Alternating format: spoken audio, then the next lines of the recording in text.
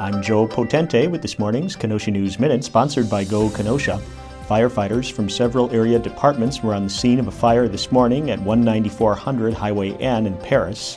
The fire appeared to be in an outbuilding near a house. Further information wasn't immediately available. One of two men accused of abducting and raping a 15 year old girl in December has been released on bond. Someone posted $25,000 to get Feeonquay Jenkins out of jail as he awaits trial or other resolution of the case against him. And the Edward Bain School of Language and Art honored Black History Month Wednesday evening with a celebration of the Harlem Renaissance. Students taught their parents about iconic performers and poets of the past in what they called a living wax museum. Here's David Marin with sports. Thanks to 22 points from sophomore DeMonte Nelson, the Bradford boys basketball team halted a four-game losing streak with an 83-74 win over Central on Wednesday at the Bradford Fieldhouse.